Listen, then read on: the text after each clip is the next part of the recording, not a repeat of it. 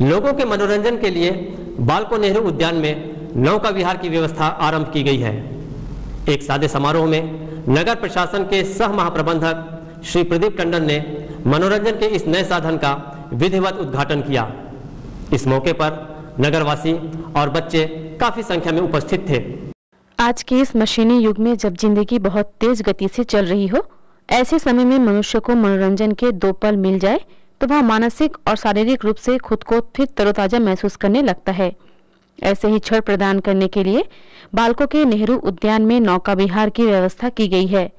नौका विहार के शौकीनों के लिए फ़िलहाल छह बोट की व्यवस्था सुलभ कराई गई है, जिसमें से दो नावें, दो दो सीटों वाली और चार नावें चार चार सीटों वाली हैं। ये पैडल बोट है। इसके संचालक मलय चटर्जी और व्यासमुनि मिश्रा हैं।